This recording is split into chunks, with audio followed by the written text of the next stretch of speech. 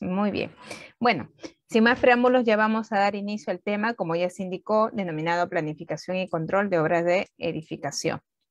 Eh, es importante tener en cuenta estos alcances dentro de este tema y uno de ellos es, por ejemplo, entender qué cosa es un proyecto. Cuando nosotros hablamos de la planificación, el control de, de proyectos, de obras de, en este caso, de edificación, Vamos a partir por lo que es un proyecto, porque dentro de esta, eh, vamos a decir, de estas eh, etapas que tiene un proyecto, pues se habla de la planificación, se habla del control, ¿ya? Miren ustedes, un proyecto se refiere a todo aquello que tiene o, lleva a cabo un esfuerzo temporal y que se realiza para poder crear un producto, un servicio o un resultado único. Esto basado en la guía del PIMBO. Estos proyectos tienen características también particulares. Una de ellas es que es temporal, es decir, que todos los proyectos que se tengan van a tener un comienzo definido y un final definido. De igual manera, decimos que es único, lo cual significa que un proyecto crea productos entregables también único, con sus propias características, a pesar que sean del mismo especialidad, pues tienen particularidades que van a hacer que sean únicos y finalmente tiene una elaboración gradual. ¿Qué significa? Que un proyecto se desarrolla por etapas, por pasos, y estos se van incrementando a medida que también vayamos construyendo más, una, más, este, más etapas que este tenga, ¿correcto? Entonces eso básicamente es importante tomarlo en cuenta. De otro lado, como ya le mencionaba, miren, ya entendimos que es un proyecto, ¿correcto? Que tiene tres características eh, particulares y también vamos a entender el día de hoy las etapas de un proyecto. En, relación a las etapas de un proyecto, decimos que este tiene la etapa de planificación, la etapa de programación y la etapa de control. Esas son las tres etapas que tiene un proyecto. En la etapa de planificación significa la planeación. ¿Y qué es lo que vamos a hacer aquí? Pues vamos a indicar las actividades. O sea, el planificar es el pensar. Eso significa planificar.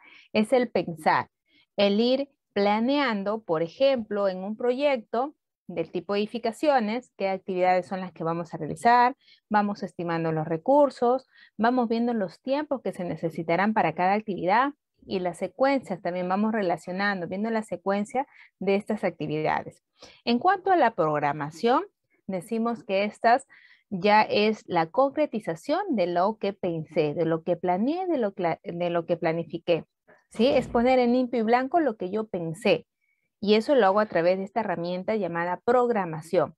Y aquí claramente, pues nosotros vamos a plasmar ya las fechas de inicio, la fecha de término de cada una de mis actividades, las holguras que este tiene y eh, vamos a indicar claramente los recursos que hay que emplear por cada una de estas partidas. Entonces eso es lo que nosotros vamos a hacer en esta programación. Y bueno, también hay diferentes metodologías para nosotros poder eh, programar un proyecto, una obra. ¿no? Hay diferentes metodologías para poder realizar esta etapa de un proyecto.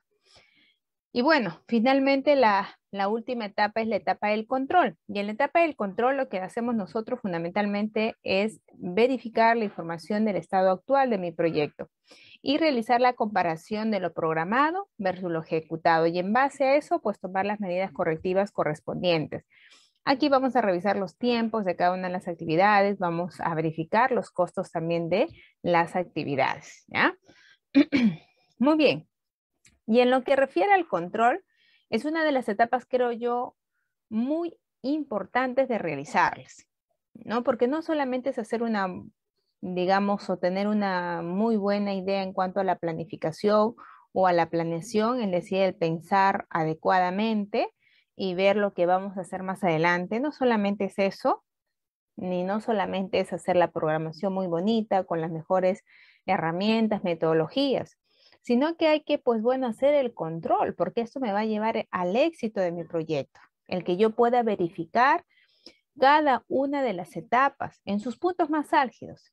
Y lo voy a poder detectar y sobre todo voy a poder tomar las medidas correctivas pertinentes si es que este, yo estoy haciendo este control, si es que yo estoy verificando, pero si yo ni siquiera voy a obra, ni siquiera sé cuánto es el rendimiento, si ni siquiera sé cuánto están avanzando, si ni siquiera sé qué es lo que está faltando a esa obra para que se pueda llevar adecuadamente su desarrollo, no estar en, en atraso, entonces no lo voy a poder hacer, es imposible. Entonces la etapa de control es esencial. Entonces tenemos que aprender a controlar nuestras obras. Y una de las metodologías muy, muy esenciales y creo yo básicas que tenemos es en el tema de realizar y evaluar los rendimientos de campo. No voy a decir los rendimientos que están en un documento, que es tu expediente técnico, en tus costos unitarios, sino lo que realmente está en campo. De esa manera tú vas a poder detectar si es que realmente se está llevando a cabo lo que dice en el papel. Y en base a eso vas a poder tomar las medidas pertinentes. De lo contrario, no, se te va a ir, se te va a ir el tiempo, se te van a ir los recursos, se va a ir el dinero, va a llegar el tiempo de término de la obra y no avanzaste lo que necesitaste, ¿no? Entonces, básicamente por ahí el tema del control tenemos que de todas maneras ponernos nosotros, como se dice, las pilas y tener que verificarlo, definitivamente. Bien, luego hablamos referente a lo que es una obra. ¿sí? Cuando hablamos de una obra, porque nosotros vamos a hacer la planificación y control de una obra de edificación, sino que era importante que ustedes sepan que la planificación y control están dentro de las etapas de un proyecto. Es algo que lo tenemos que hacer dentro de un proyecto. Lo, lo planeas, lo planificas, lo programas y lo controlas. ¿Correcto? Esas son las etapas de un proyecto y como tal tengo que hacerlo y ver de dónde nace. De otro lado, vamos a entender que es una obra para ver a quiénes voy a controlar. ¿Correcto? Entonces, cuando hablamos de una obra, nos estamos refiriendo, según el reglamento de la ley de contrataciones con el Estado, nos estamos refiriendo a todo aquello que tenga que ver con construcción, con reconstrucción, con remodelación, con mejoramiento, con demolición, con renovación, ampliación y habilitación. Todo eso que estoy mencionando se enmarca dentro de una obra y merecen su tratamiento al igual que una, una construcción. O sea, no, no necesariamente tiene que ser solo construcción para yo decir que es una obra. Todo lo que he mencionado está dentro de una obra, ¿no? Se tipifica como una obra. Y básicamente lo que nosotros vamos a ver es estas obras, pero del tipo edificación, que es una, digamos, una de las este, tipos de estos proyectos. Ahora, cuando hablamos también de una obra, es importante que ustedes sepan que una obra requiere ciertas condiciones para que pueda ser ejecutada. Por ejemplo, que tenga la dirección técnica, es decir, el residente y supervisor, los profesionales a cargos. Que se tenga este documento tan importante, este documento técnico tan importante que es el expediente técnico. También que cuentes con los recursos necesarios, como es mano de obra, materiales y o equipos. Sin eso no podríamos ejecutar una obra. Miren ustedes, asimismo cuando hablamos de una obra es importante que ustedes sepan que tenemos tres actores fundamentales en esta ejecución. Tenemos al supervisor, que puede ser una persona natural o jurídico, al propietario, que puede ser el dueño de la entidad, y al ejecutor, que puede ser el contratista o el constructor. De otro lado, miren ustedes también, mm, vamos a decir eh, que conocer que es una obra pública también nos va a llevar a que nosotros hagamos de una mejor manera nuestro trabajo. ¿Saben por qué? Porque muchos de los em, proyectos en los que nosotros nos desarrollamos, en los que nosotros trabajamos, es en las obras públicas. Algunos estarán trabajando o irán a desarrollar, eh, digamos, parte de su profesión en obras privadas y ahí no va a pasar nada. Obras privadas con obras o entidad privada con entidad privada, pues no les va a pasar mucho, ¿no? Pero igual tenemos que hacer nuestro trabajo de una mejor manera, digamos, dejando todo lo que nosotros, pues, lo mejor de nosotros, ¿no? Eso ya se entiende que es así. Pero en una obra pública es donde tenemos que tener este cuidado porque es ya, si es que nosotros hacemos algo mal, ya es un daño que se de repente de comprobarse que le estás haciendo al Estado. Y eso sí merece una sanción. Y eso sí merece un castigo. Entonces nosotros donde más nos cuidamos, vamos a decirlo así, sobre todo en, en tener en cuenta todos los documentos, en seguir todos los pasos, en, en, en, poner todas las evidencias, es en las obras públicas. Porque el no hacerlo adecuadamente te puede llevar a una sanción, te puede llevar a un proceso y eso no queremos nosotros. Entonces es ahí donde más nosotros nos cuidamos. Es por eso que muchos dicen, no, voy a trabajar una obra pública, tengo que estar con mis normas a la mano. porque el desconocimiento me puede llevar a que yo cometa errores. Y esos errores me pueden conllevar a que yo cargue un proceso, a que yo cargue algún este, problema futuro. Y eso yo no quiero. Entonces, miren, ustedes, la mayoría de profesionales tal vez están desarrollando en este, en este tipo de proyectos públicos, ¿no? Y es importante que sepan a qué se refiere una obra pública. Para ello, miren ustedes, las obras públicas son aquellas obras que son ejecutadas por un organismo del Estado. Este organismo del Estado lo puede ser de manera directa y se llama administración directa o lo puede ser a través de un tercero y se llama este, por contrato o de forma indirecta. Pero cualquiera sea la forma de que se está ejecutando el Estado, cualquiera sea la forma que decidió ejecutar estos, estos proyectos, sea por él mismo o a través de un tercero, esto lo va a hacer con recursos públicos. Por eso es lo delicado, porque lo hace con recursos públicos de todos los peruanos. ¿Con qué objetivo? El de mantener, ampliar y o mejorar la infraestructura en beneficio de todos nosotros, de todos los ciudadanos y van a ser una obra pública, nace en la identificación de esta necesidad pública, por eso que hay etapas que se ve a través del invierte.p y que una de ellas es la parte del diagnóstico, definitivamente, porque yo no voy a hacer proyectos con plata del Estado que no sirva o que no conlleven a que realmente se mejore la calidad de un cierto sector. Entonces, estas obras públicas que nacen en una necesidad pública tienen que someterse a este sistema que es el invierte.p para que pueda evaluarse todas sus etapas y declarar la viabilidad y con esto ejecutar la obra pues pública. Existen una serie de normas, existen una serie de directivas que nosotros tenemos que cumplir como profesionales. Siempre dejando evidencias, siempre este, haciendo cumplir la normativa. Ingeniera, pero a mí no me gusta, pues yo quiero hacerlo a mi manera. Bueno, estás en una obra pública, no puedes hacerlo a tu manera, tienes que hacerlo de acuerdo a los aspectos normativos obviamente, como se dice, sazonando con tu eh, calidad de profesión que tienes, con tus conocimientos, eso no nadie te lo va a quitar, cada uno de nosotros somos únicos, ¿no? Somos diferentes. Entonces, en ese sentido, no es que tú dejes de hacer lo que tú sabes hacer, pero siempre cumpliendo la parte normativa. Eso es lo que les digo. No podemos saltarnos pasos si es que estás en una obra pública. Ese sistema que es el que evalúa estos proyectos bajo el enfoque de la inversión pública, es el invierte.p, el cual tiene cuatro etapas, ¿sí?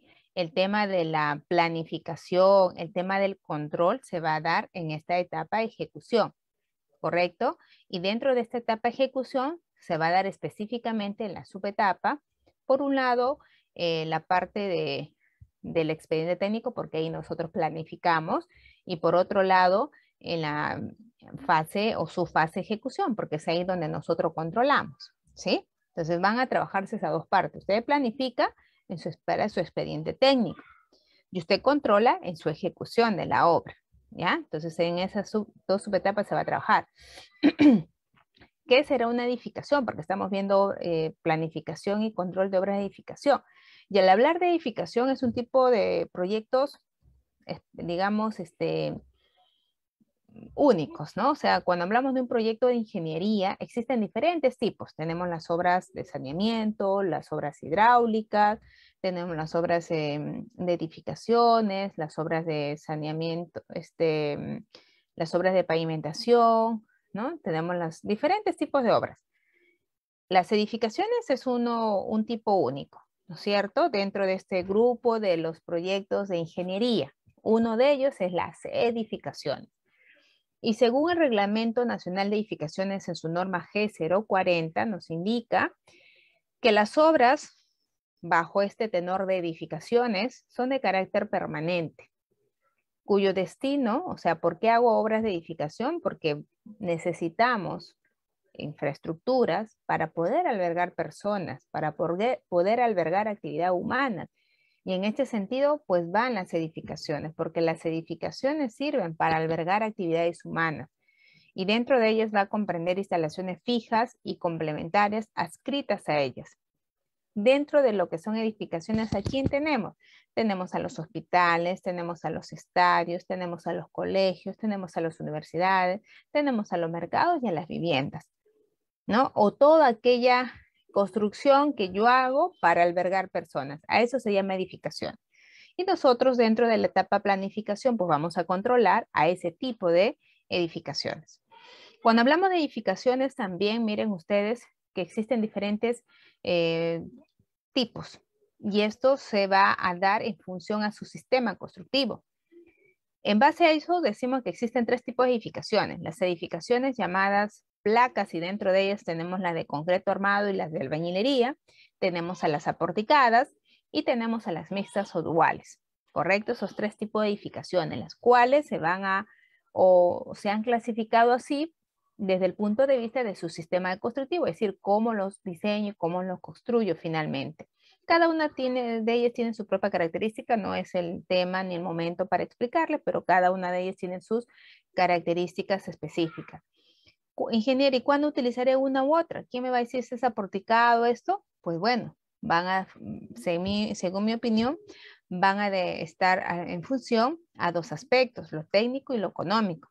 Lo técnico tendríamos que saber la mecánica de suelos o hacer los estudios de mecánica de suelos para definir las características de esta área y en función a la categoría de la edificación y sumado a la parte técnica podríamos definir qué sistema constructivo es el que le corresponderá. ¿Será albañilería? ¿Será porticada? ¿Será mixta o dual? Muy bien, eso es en cuanto a, los alcances que puedo darles eh, referente a las edificaciones. Pues bien, vamos iniciando con una de estas eh, etapas de estas obras de edificación, de estos proyectos. Ya mencionábamos que cuando hablamos de un proyecto, nosotros tenemos etapas que realizar.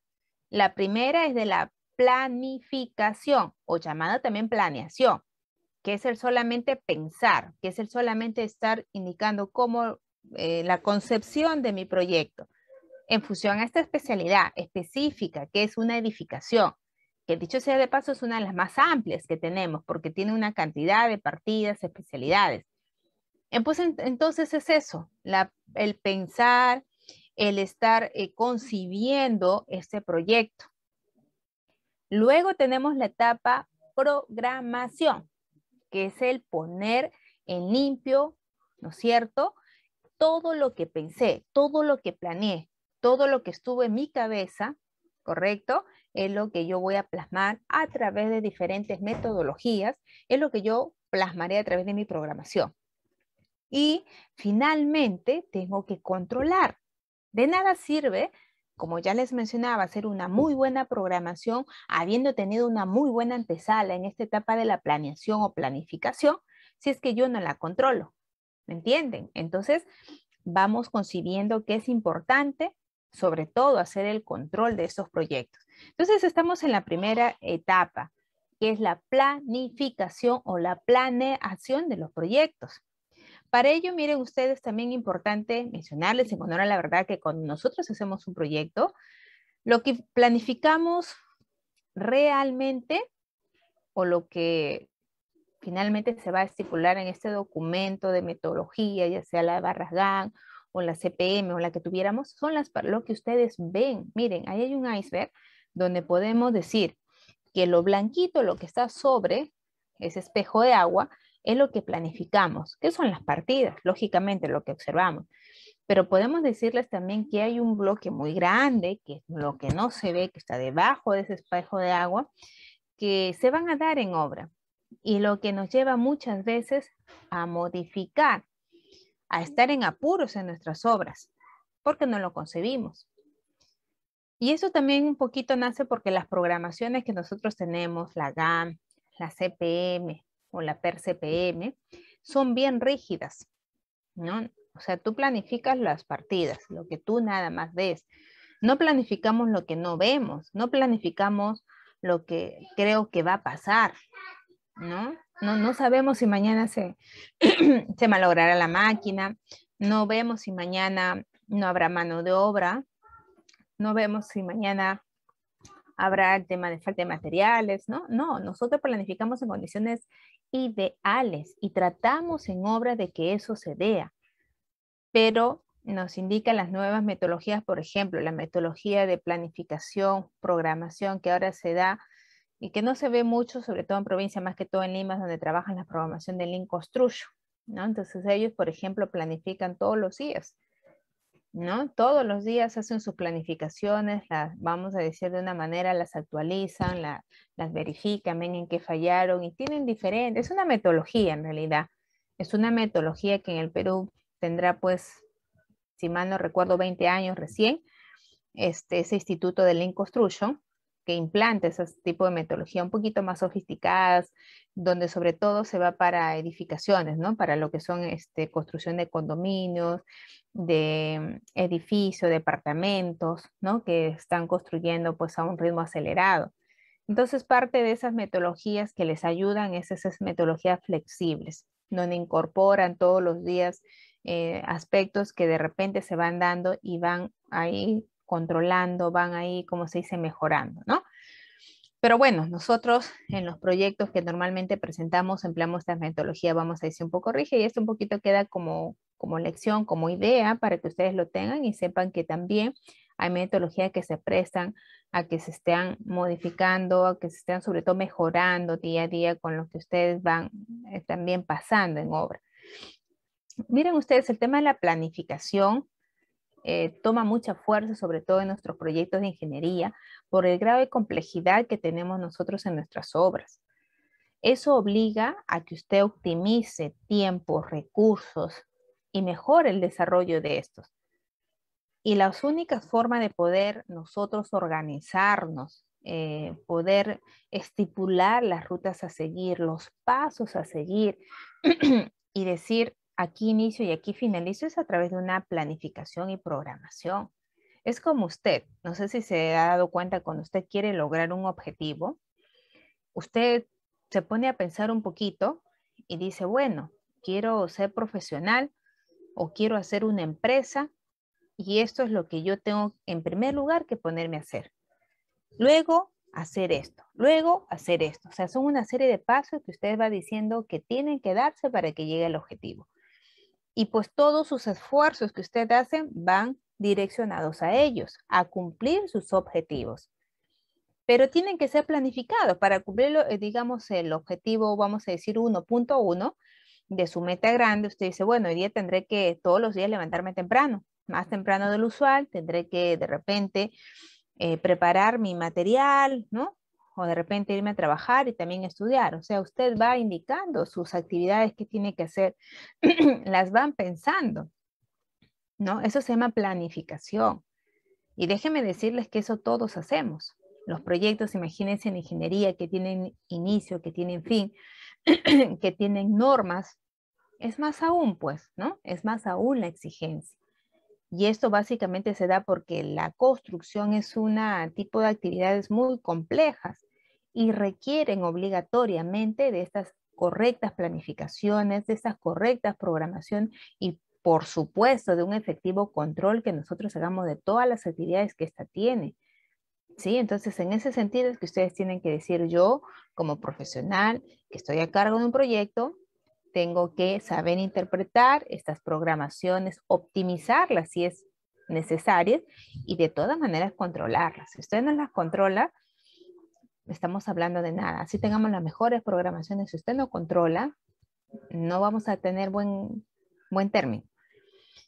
De otro lado, es también mencionarles que el desarrollo inmenso que ha tenido los sectores de construcción, sobre todo minería en nuestro país en estos últimos años, hace que tengamos que definir la importancia de la administración de proyectos este, en obras, sobre todo grandes, ¿no? En grandes obras. Es por eso que hoy en día se habla de administrador de obra. Anteriormente no, no lo teníamos, teníamos al ingeniero civil eh, haciendo residencia, supervisión, ¿no? Pues ahora no, también se solicitan para las obras, sobre todo grandes, administradores de eh, obras, para que estos puedan ayudarnos en la organización, en la planeación, ¿no? En la, digamos, en el cumplimiento de objetivos, porque ellos se suponen que tienen más herramientas, más eh, filosofía en cuanto a lo que es una organización. Entonces, la administración de la obra es una planeación, es una organización, es la dirección y control de los recursos que nosotros tenemos dentro del proyecto para lograr un objetivo a corto plazo. Y bueno, tiene definiciones diversas desde diferentes puntos de vista. Se indica, por ejemplo, que la planificación es una herramienta, eso ya lo sabemos. Para tener éxito en nuestro proyecto necesitamos de diferentes herramientas y estas también se estipulan dentro de las etapas de un proyecto, que es la planificación, planeación, programación y control. Entonces la planificación nos dice también a su vez que es una herramienta fundamental dentro de lo que es una dirección de proyectos. Si usted no tiene una buena planificación, esto se va a traducir en improvisación, que usted vaya, no sepa cómo, digamos, organizar a sus, a sus recursos y eso definitivamente se traduzca en pérdidas económicas, en fracasos de los tiempos eh, de su proyecto, lo cual no queremos.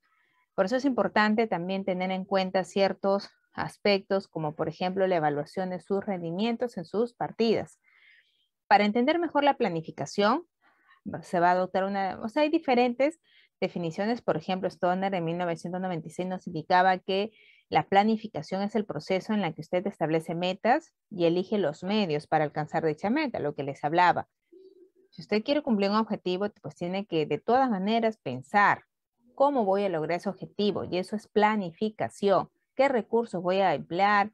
¿Qué personas me van a ayudar? ¿Cuánto tiempo me tomaré? ¿No? Entonces todo eso se ve en la etapa planificación.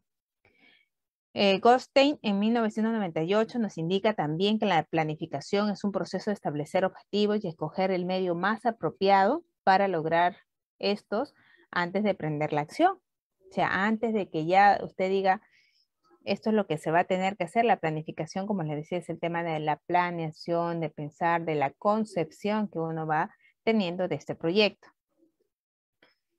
Por todo lo que se ha indicado, vamos a decirle que la planificación es decir ahora lo que vamos a hacer mañana.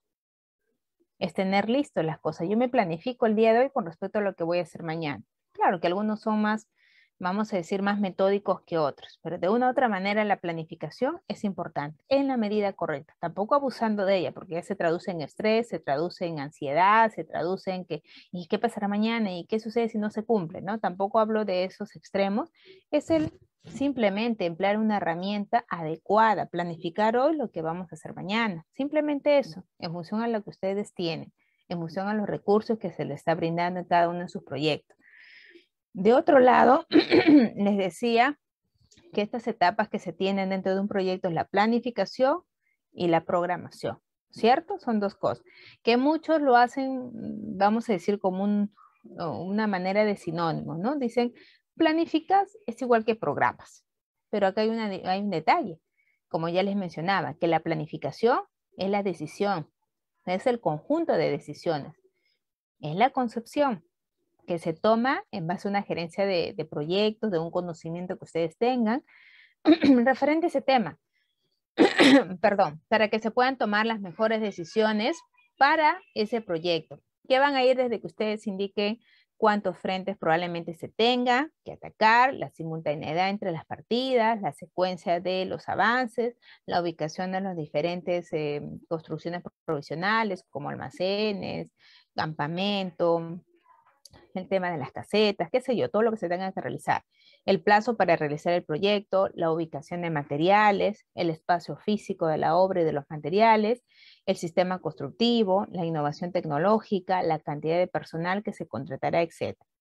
Entonces, eso es básicamente en lo que refiere a planificación, que es una de las primeras etapas de una gerencia de proyectos. Mírense ustedes, ¿no?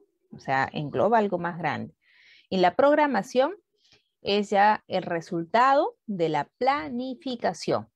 Es el resultado de lo que planificaste y en ella vamos a detallar todas las tareas que sean necesarias para concluir el proyecto en los plazos previstos, al igual que las duraciones, los inicios y fin de cada tarea y los recursos de los costos en cada actividad.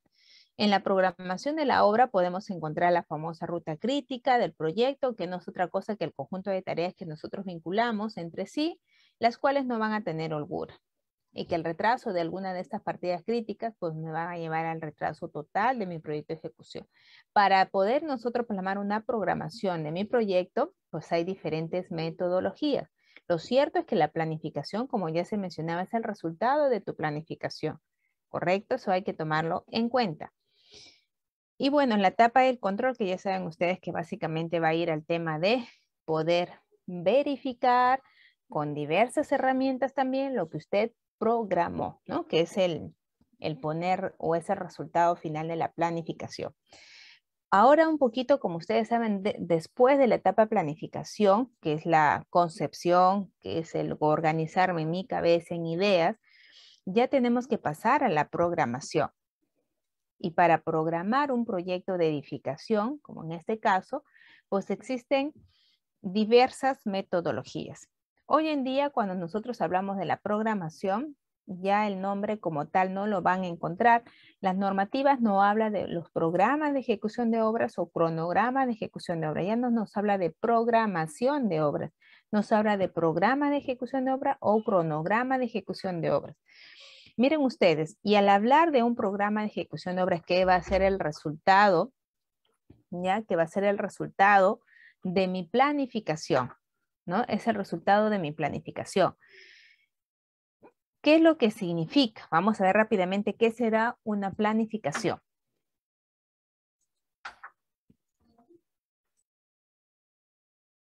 Bueno, al respecto vamos a indicarles que la programación de ejecución de obra se define como una secuencia lógica de actividades constructivas. Actividades constructivas que se realicen en un determinado plazo de ejecución, la cual comprende solo las partidas del presupuesto del expediente técnico, así como las vinculaciones que puedan presentarse. En estos programas de ejecución de obra, de una obra de edificación, así como cualquier tipo de proyecto que ustedes enrumben, se tiene que elaborar, nos dice nuestra normativa vigente, empleando la metodología del CPM, y que es la base para elaborar nuestro calendario de avances de obra valorizado. Entonces, para que usted ponga en limpio todo lo que planificó, todo lo que pensó referente a ese proyecto, lo va a hacer a través de una metodología que te exige la reglamentación peruana vigente, que es la metodología del CPM.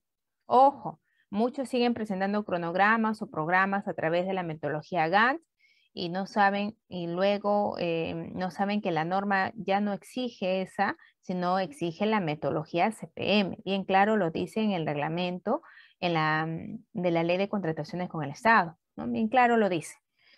¿Cuáles son los componentes de un programa de ejecución de obra? Pues tenemos los plazos de ejecución, tenemos los eh, días laborables, fecha de inicio, eh, fecha de término, relación de las partidas, la famosa ruta crítica. Al respecto, es importante que ustedes sepan que la ruta crítica es uno de los elementos vitales dentro de un programa de ejecución de obra, como también ya lo mencionábamos. ¿Por qué? Porque la ruta crítica te va a determinar el plazo de ejecución de una obra.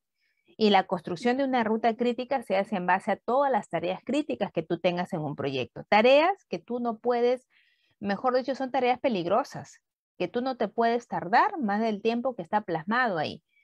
Que si tú no tienes motivos para poder sustentar por ejemplo, eh, la demora que se esté dando en tu proyecto, pues este te va a llevar de repente a penalidades. O sea, las rutas críticas están constituidas por una serie de partidas críticas. La ruta crítica es un conjunto de tareas críticas. Y la ruta crítica es una partida que se clasificó como crítica por básicamente el tipo de naturaleza, por la naturaleza que tiene esa partida, y porque vamos a decir eh, entre una y otra que yo elija para que sea crítica, porque es la que tiene más duración. es una partida sumamente importante que su no ejecución pues no nos permitiría seguir avanzando las demás partidas y entre dos partidas que tú tengas pues la más larga es la crítica. De esa manera vamos armando nuestra ruta crítica en, en, lo que es el GAN y en el CPM pues es en base a una fórmula lo cierto es que ustedes tienen que tener mucho, ah, mucho cuidado cuando están controlando sus obras porque una ruta crítica es peligrosa. Significa que no puedo demorarme más del tiempo previsto en cada una de sus partidas. Que si yo me demoro sin que tenga ningún sustento, voy a atrasar todo mi proyecto. Todo mi proyecto. Si yo había firmado un contrato que debo terminar el 31 de agosto y no lo hago, y yo sé que mi tarea crítica se frente a una semana, pues una semana se va a aplazar tu proyecto. Y si no tienes sustento, vas a pagar penalidad una semana, salvo que el alcalde sea tu amigo y no lo haga. Pero bueno, entonces eso es otro tema. ¿Por qué es importante los programas de ejecución de obra? Porque me permiten organizar un proyecto, porque me permiten relacionar las actividades programadas con los recursos que se necesitan, y porque también me brinda las pautas para un adecuado seguimiento y control de mis proyectos. ¿ya? Muy bien. Programa de ejecución, eh, dentro de los, de los programas de ejecución de obras, ya no está bien dicho programación de obras, sino que dentro de los programas de ejecución de obras o cronograma de ejecución de obras, eh, nosotros decimos que uno de los aspectos vitales que juega un rol importantísimo en lo que son las programaciones de obras son la relación de las partidas. ¿Correcto? Para que usted haga una muy buena programación de obras, es decir, el representar todo lo que es la planificación para que me dé un muy buen resultado en este programa de ejecución de obras, del cual más adelante lo voy a controlar, yo necesito plasmar adecuadamente la relación de las partidas. La relación de las partidas juega un rol importantísimo dentro de mi programa de ejecución de obras. Y a su vez, la relación de las partidas que usted va a colocar a cada una de estas va a darse en función a su proceso constructivo. Si usted no conoce el proceso constructivo de esas partidas, entonces usted no va a poder relacionar adecuadamente estas. Tiene que conocer el proceso constructivo de cada una de las partidas para que usted ponga la relación más adecuada. Ojo, no todos tienen por qué tener, por ejemplo, vamos a suponer que en la sala pues hay, no sé, 100 eh, ingenieros y los 100 ingenieros van a hacer un reto de hacer la programación o el programa de ejecución de obra de una edificación.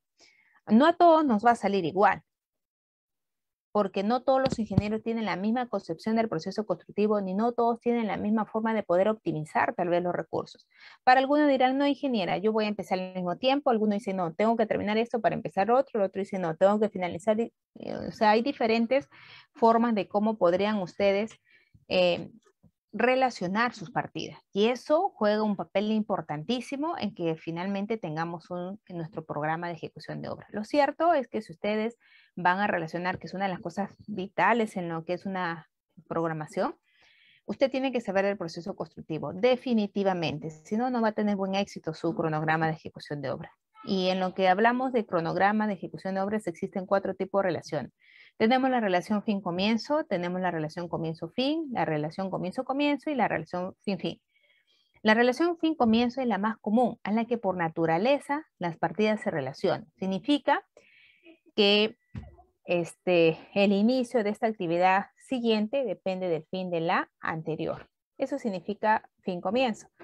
La comienzo-fin significa que el inicio de esta actividad predecesora o anterior, depende de la finalización de la siguiente. La relación comienzo-comienzo significa que ambas deben comenzar igual y la fin-fin significa que ambas deben finalizar igual. Usted, con su conocimiento del proceso constructivo, con su experticia que tiene, podrá colocar la relación más conveniente. De otro lado, ¿qué nos dice el OCE referente a estos programas de ejecución de obra o cronograma de ejecución de obra? Nos dice que el consultor deberá formular el cronograma de ejecución de obras considerando las restricciones que pueden existir para el normal desenvolvimiento de estas, tales como lluvias, condiciones climáticas, dificultad de acceso a ciertas áreas, en fin. Pero eso no es tan cierto. ¿Por qué? Porque usted conoce un cronograma, ya les decía que lo hacemos de manera rígida, no sabe si va a haber lluvias, no sabe si va a haber dificultad de acceso, no lo sabe, simplemente plasmas un cronograma en función al dato metrado y rendimiento y te salen los días. Tú no puedes decir, ah, no, por si acaso le voy a dar tres días más porque yo ya sé, soy Abraham Levy, ya sé que va a llover. No, eh, para eso existe una ampliación de plazo, pues la norma es un poco ambigua también. Para eso existen las ampliaciones de plazo, para que ante estas circunstancias usted solicite los días de más que le dañó estos eh, aspectos que surgieron que no dependen de usted y cayó justo en la ruta crítica, usted los tendrá que solicitar. Lo cierto es que la norma, el OCE, sí nos dice lo siguiente, que para plasmar este cronograma de ejecución de obra tenemos que emplear el método PERCEP. Asimismo, nos dice que el consultor elaborará un cronograma de ejecución precisando las cuadrillas, turnos de trabajo, horas de trabajo, en fin. Entonces, todo eso nos dice el OCE. Muy bien, vamos un poquito a las normativas, al reglamento de la ley de contrataciones con el Estado. El mismo que en el artículo 143 nos habla sobre el cómputo de los plazos y nos dice, por ejemplo, que durante la ejecución contractual los plazos se computarán, nos dicen en días calendarios. Eso es importante mencionarles porque yo, la verdad, en, el trabajo que ya tengo casi 14 años como ingeniera civil y me he tenido también la experiencia, he tenido la oportunidad de trabajar evaluando proyectos, expedientes técnicos. Algunos expedientes, su plazo de ejecución lo colocan en días hábiles. Y eso es un grave error. Un plazo de ejecución no se da en días hábiles. Un plazo de ejecución, como lo dice el artículo también 143, cómputo de plazos, que la ejecución contractual, o sea, el plazo de ejecución que se tenga que computar en un proyecto, es en días calendarios. Es en días calendarios. Ya, eso ténganlo en cuenta. No dice excepto en los casos en los que el presente reglamento indique lo contrario, pero no, lo indica en días calendarios, aplicándose supletoriamente lo dispuesto por los artículos 183 y 184. Muy bien, entonces por ahí empecemos, que un cronograma de ejecución de obras lo vamos a plasmar en días calendarios. El artículo 183, del que habla referente al Código Civil, el que hace mención en la Ley de Contratación con el Estado en su artículo 143, nos indica este artículo 183 del Código Civil que el plazo se computa de acuerdo al calendario gregoriano, conforme a las siguientes reglas. El plazo señalado por día se computa por días naturales, salvo que la ley o acto jurídico establezcan que se hagan por días hábiles, ¿no? Entonces ya sabemos que es en días calendarios. El plazo señalado por meses se cumple en el vencimiento del, en el mes del vencimiento y en el día de este correspondiente a la fecha del mes inicial. Si en el mes de vencimiento falta tal día, el plazo se cumple el último día de dicho mes. El plazo señalado por año se rige por las reglas que establecen el inciso 2 y el plazo excluye el día inicial e incluye el día del vencimiento. El plazo cuyo último día sea inhábil vence el primer día hábil siguiente, ¿no? Eso lo hacemos con el cómputo de plazos, ¿no? Si por ejemplo te dicen cinco días calendarios y vemos que que el último es inhábil, pues va a vencerse el primer día hábil del, mes siguiente. El artículo 184 de este mismo Código Civil nos dice que las reglas del artículo 183 son aplicables a todos los plazos legales convencionales, salvo disposición o acuerdo diferente. ¿no? Lo cierto es que dentro de todo este aspecto que nos indica es para decirnos que los cómputos de plazos se van a dar en función a días calendarios. Muy bien, el artículo 176 también del reglamento de la ley de contrataciones con el Estado eh, nos indica que, referente al inicio del plazo de ejecución, donde dice, mire, se puede diferir la fecha de inicio de ejecución de obra, nos dice así, ¿no? Ah, perdón. Artículo 176, inicio del plazo de ejecución. Referente al inicio del plazo de ejecución, hay condiciones, hay cinco condiciones que se tienen que cumplir para poder formalmente dar inicio al plazo de ejecución.